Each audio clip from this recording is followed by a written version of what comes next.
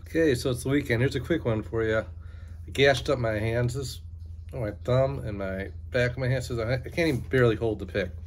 Anyways, this is a simple one. I, I feel like I always hear people playing it wrong.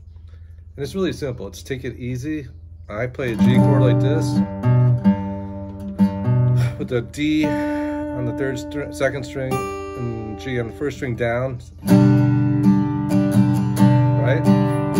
I switch it to the G, E on the fourth string, C on the first string, pinky down on the G on the first string. So it's like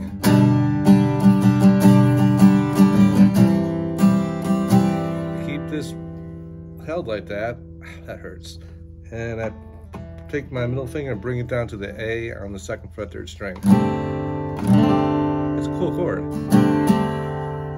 So you got this.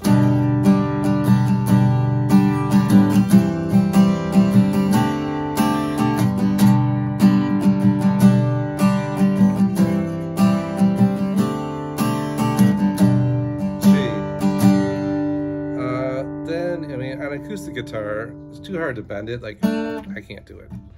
So I just go uh, play this top half of the D, A, A and D, second and third string, and just go hammer on to the B on the third string, fourth fret.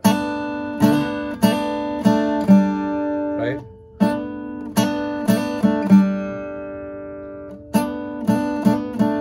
Then I pull off, not pull off, walk down to the E, open, so it's the second fret, E, then open the D. So, so it really is three times.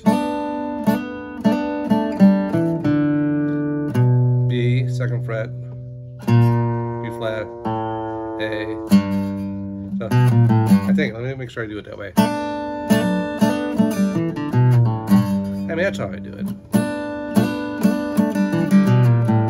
I feel like some people play like this.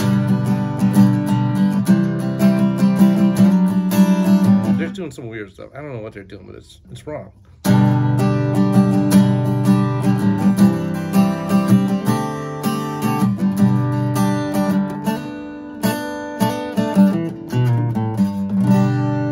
There you go. There's a quickie on Saturday. Hopefully I'll get my hands back to work. I can barely even hold the pick. Anyways, have fun. Tomorrow's St. Patrick's Day. Don't drink too much. You gotta work the next day. All right.